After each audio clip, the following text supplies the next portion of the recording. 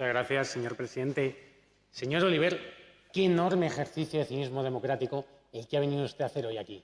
Porque resulta que Más Madrid presenta la primera proposición de ley de toda la legislatura y utiliza el debate no para hablar de su proposición, sino para hacer una causa general de la corrupción contra el partido que sustenta el gobierno y además para hacer acusaciones veladas impropias de un cargo público.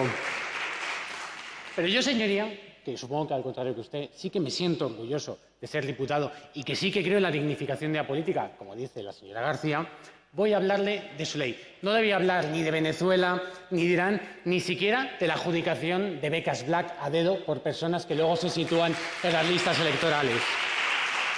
Y tengo que reconocerle, tengo que reconocerle, señor Oliver, que me ha sorprendido su ley, porque es la ley más inconsistente, chapucera, ilegal e incluso inconstitucional que he visto en toda mi carrera administrativa. Son ustedes verdes, transversales, feministas. Eso sí, su falta de conocimientos jurídicos y técnicos son tan palmarios que solamente desde ahí se explica que hayan tenido la poca vergüenza de presentar este texto. Porque,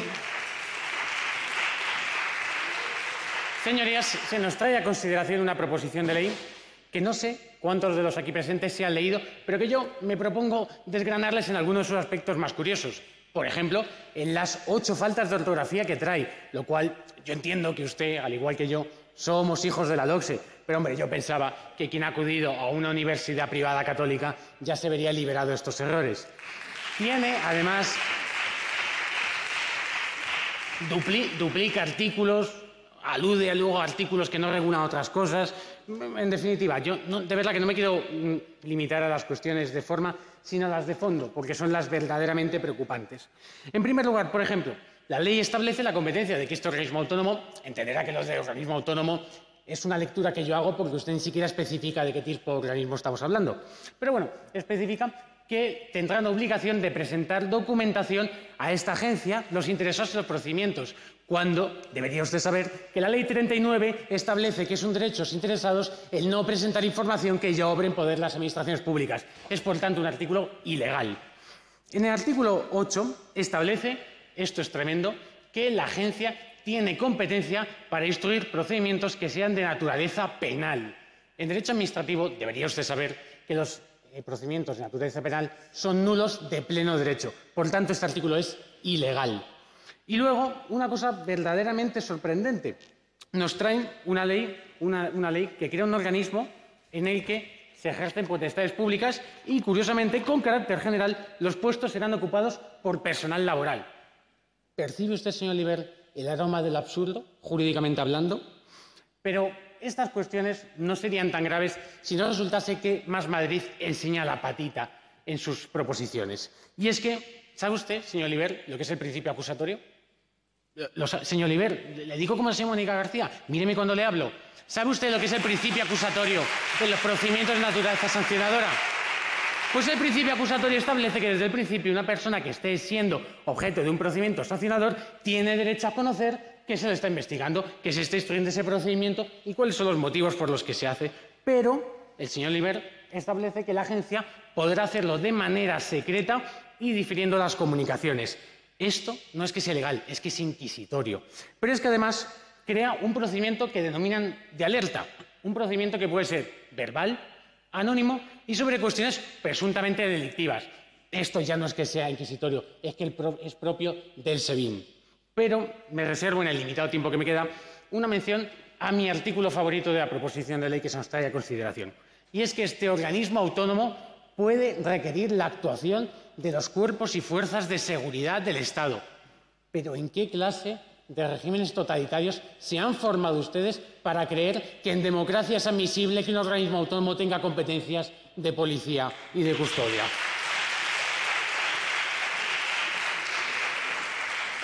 El problema es que ustedes han confundido la garantía de un estatuto de derechos del denunciante con la eliminación de todos los derechos y garantías en el procedimiento para los denunciados. Pero es que además desconocen la normativa comunitaria, porque nos dicen que es como consecuencia de una transposición, transposición cuyo plazo todavía no ha finalizado. Y además desconoce usted lo que es la eficacia directa, tanto vertical como horizontal, en las disposiciones de los ordenamientos jurídicos. Pero, en todo caso, si usted se hubiese leído la ley con detenimiento, vería que lo que persigue es una armonización de estos procedimientos en todos los eh, países de la Unión Europea, no la creación de 17 chiringuitos en cada una de las comunidades autónomas.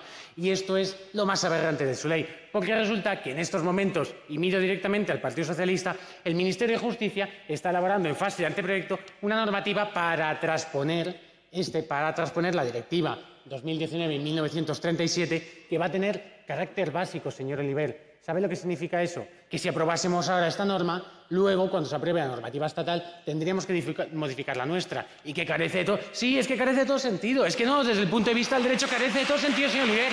Es que, hay que venir con las cosas un poco bien hechas. Pero en todo caso, yo sé que usted, señor Oliver, ha venido a hablar de corrupción. Y yo no le voy a rehuir el debate.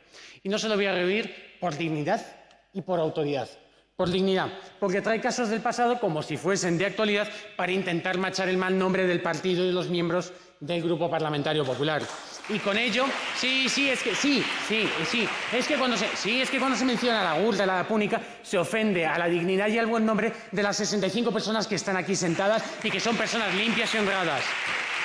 Es que no se ha enterado usted de que el señor, sí, de que el señor Casado se presentó precisamente haciendo bandera de lucha contra la corrupción, como ha hecho también la eh, presidenta Ayuso. Y es que en, cuestiones de autoridad a este partido nadie nos va a decir que no luchamos contra la corrupción, porque bajo nuestro gobierno se ha modificado la ley de partidos para prohibir las donaciones privadas, perdón, las donaciones de empresas privadas a los partidos, para prohibir las condonaciones de deuda, para que los partidos políticos sean sujetos penalmente responsables, para que las cuentas tengan que ser fiscalizadas por el Tribunal, de Cuentas.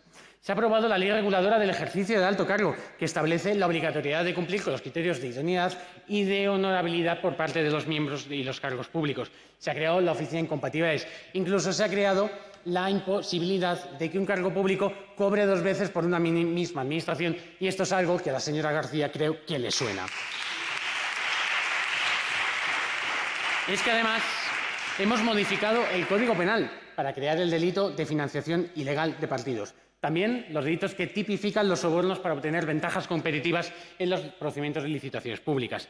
También delitos contra la corrupción urbanística y contra la ordenación del territorio. Es que modificamos la ley de enjuiciamiento criminal para permitir la agilización de las macrocausas de corrupción. Es que creamos la Oficina para Recuperación y Gestión de los Activos Procedentes del Fraude, la ORGA.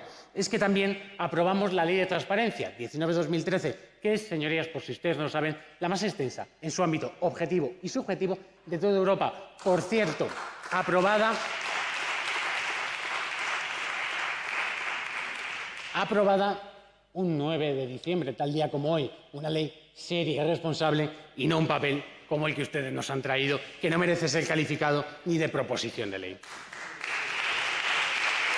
Esto, estas medidas que le acabo de relatar, señoría, son hechos y no palabras. Y como entenderá de la intervención que estoy realizando, no vamos a apoyar su propuesta, sencilla y llanamente porque produce, desde el punto de vista jurídico, vergüenza ajena, porque contiene elementos de evidente ilegalidad y más aún de obscena inconstitucionalidad, porque dice promoverse en eh, transposición de una directiva cuando ahora mismo es el Estado el que tiene que tener la obligación. Y le digo más, ¿tenían ustedes tanta prisa porque se apruebe esta ley, la transposición de directiva? ¿Por qué no se la han pedido al señor Pedro Sánchez en la negociación de presupuestos que le han votado de gratis? Máxime, máxime, señorías, porque aquí viene el, viene el absurdo absoluto cuando la Comisión de Calidad Democrática del Congreso la preside el señor Errejón. Y no le piden al señor Sánchez que transponga la directiva, sino que vienen aquí a hacer un ejercicio de cinismo parlamentario. Porque en todo caso, señor Oliver, este partido está en contra de la corrupción, pero lo que estamos también en contra es de la mala utilización de los procedimientos parlamentarios, porque debe esperarse primero a la normativa estatal y luego ya se verá si tiene sentido aprobar la normativa autonómica. En definitiva, porque somos un partido serio y de gobierno que no nos podemos adherir a estas ocurrencias que tienen ustedes en sus círculos ciudadanos. En definitiva, señoría, le voy a dar un consejo. Incorporen usted a su partido a juristas y a funcionarios que les impidan presentar estas vergüenzas. Y mientras no lo hagan, líbrennos a la gente seria y con conocimientos de sus ocurrencias. Muchas gracias.